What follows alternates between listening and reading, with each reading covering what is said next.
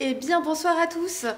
Euh, bon, les gars, j'ai pas trouvé ce qu'on. Je vous ai demandé d'apporter un petit truc. Ouais, Euh, en fait, Un peu de cam. euh, oui, on est sur le mensuel. ouais, Et ça, oui, il y a le film À la belle étoile qui sort le 22 Ouais, ça, février d'accord. on en salle de cinéma. euh, J'ai pas trouvé les gâteaux. Les Ah, gâteaux ça. Ah, les Ouais. gâteaux Ah, les gâteaux Malheureusement, on est à Nice, on les a laissés à Paris.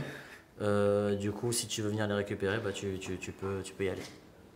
Je peux y aller. Oui, tu peux y aller, c'est ça. Tu prends juste ton billet de train Ok. et tu vas à Paris, tu descends à Gare de Lyon, après tu prends le bus 34 qui t'emmène directement. euh, Ouais, bon, pff, laisse tomber. Alors là, euh, on va faire plus simple. 22 février en salle pour À la Belle Étoile. c'est ça. D'accord. Là, tout de suite, maintenant, euh, pâté lingostière C'est ça. et pâté. Gare du Sud. Et pâté Voilà. Gare du Sud, À ça. Nice, toujours. Voilà. Bon, les gâteaux, euh, on s'arrange. hein. Ouais, c'est ça.